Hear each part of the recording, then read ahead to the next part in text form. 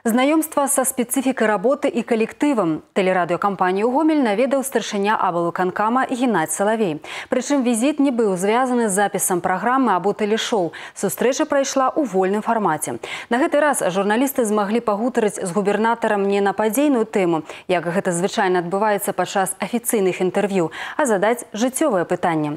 Вядома, пацікавіліся меркаваннем Геннадзя Салаўя аб перспектывах развіцця рэгіянальных СМі. Марына Джалая з падрабязнасцямі.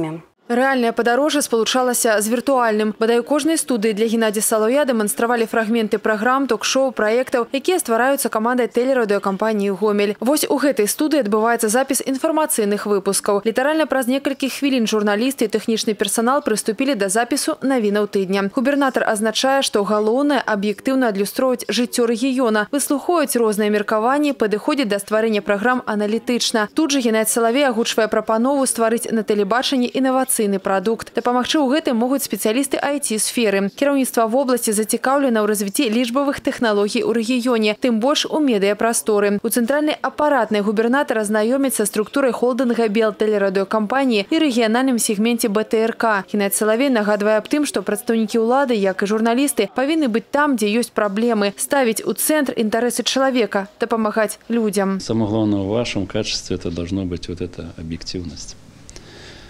Мы, как всегда, доступны и власть доступна, потому что мы стоим на страже наших интересов Республики Беларуси, а вы эту информацию доносите для наших простых людей и всех других. Ну, это объективная информация должна быть. Побач кабінеты рэжысёраў Геннадзі Салуя знаёміцца спецыфікай монтажу інфармацыйных выпускаў і тэлепраграм. Размова і аб актуальнасці выкарыстання беларускай мовы на тэлебачанні. Штодзённыя выпускі навінаў беларускамоўныя. Наступная кропка у суседнім будынку. Тут таксама тэлестудыі і радыё. Да эфіру застаецца ўсяго некалькі хвілін. У студыі дыджэі Тацяна Ушакова, Кацярына Календа, радыёвядучы Сергей Нігярэвіч. Геннадзь Салавей з цікавасцю назірае за іх работы і адначасова ўносіць свае прапановы. Напрыклад, рабіць невялікія выпускі выпускі аб жыцці кожнага раёна гомельшчыны каб жыхар напрыклад хойнікаў на радыёхвалях пачуў аб тым што адбываецца ў карме цілоеве завяршаецца падарожжа па медыяпрасторы тэлерадыёцэнтра у эфірнай тэлестудыі нядаўна яна цалкам абнавілася тут жа губернатару дэманструюць прэзентацыйны ролик тэлепраграм усе яны на слыху дыялог галоўная тэма зямля наша бізнес-план добры вечар гомель народны майстар на развітанне